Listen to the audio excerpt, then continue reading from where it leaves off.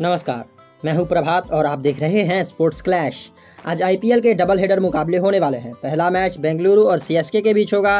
वहीं दूसरे मुकाबले की बात करें तो यह डीसी और एसआरएच के बीच खेला जाएगा। पहला मुकाबला साढ़े तीन बजे दोपहर, वहीं दूसरा जो मुकाबला होगा वो शाम के साढ़े सात बजे से खेला जाएगा।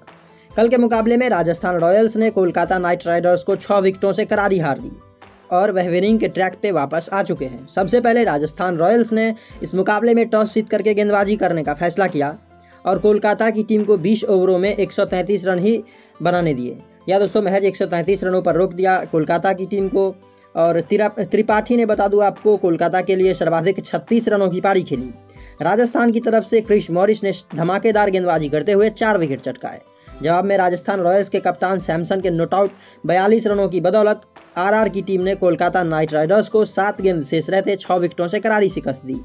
लेकिन इन सब के बीच राजस्थान रॉयल्स के रियान पराग ने सबका ध्यान आकर्षित किया। कोलकाता की टीम की बल्लेबाजी चल रही थी और इनिंग्स के आखिरी ओवर में क्रिस मॉरिस की गेंद पर कमिंस ने जोरदार स्ट्रोक लगाया।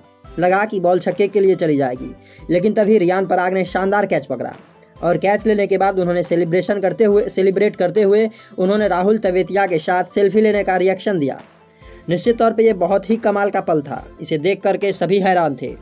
दोस्तों, आपको अगर ये वीडियो पसंद आई हो तो लाइक करना और साथ ही क्रिकेट के लेटेस्ट खबरों के लिए चैनल को सब्सक्राइब कर लेना। मिलते हैं अगले वीडियो में। तब तक के लिए bye and be safe love you all